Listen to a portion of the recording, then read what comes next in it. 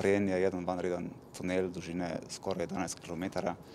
To je, kad bude izgrađeno, ovo bude deseti najduži tunel u Europi i koliko sam jučer brojao, 30. najduži tunel, cestovni tunel u svijetu. Na projektovanju radi brojna međunarodna ekipa, oko 50 stručnjaka, vrlo intenzivno.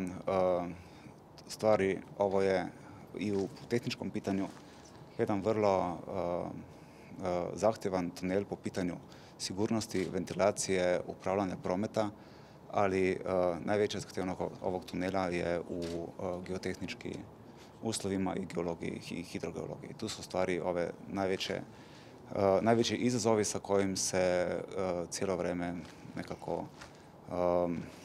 pokušamo doći. Projektovanje će biti završeno u negdje oko polovice ove godine.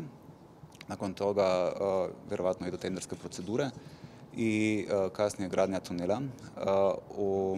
tako da samo vrijeme gradnje tunela bi bilo nekako nezahvalno u ovom vremenskom periodu odrediti jer su tu neke neznalice koje mogu produžiti ili skratiti vrijeme, vrijeme gradnje tunela. Tunel Pren je ogroman masiv. To znači sama trasa tunela nema nekih lateralnih pristupa sa kojih bi mogli mi doći bliže materiji i ispitati geomehaničke karakteristike ove, ove, ove stijene. Zbog toga se rade ove procjene na bazi nekih drugih metoda.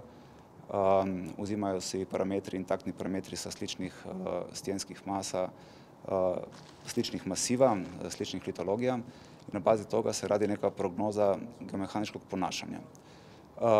Ova stijena ima i pokotinski vodonosnik u Dolomitu koji, koji je velik geotehnički i hidrogeološki rizik i sa njim treba stvarno oprezno.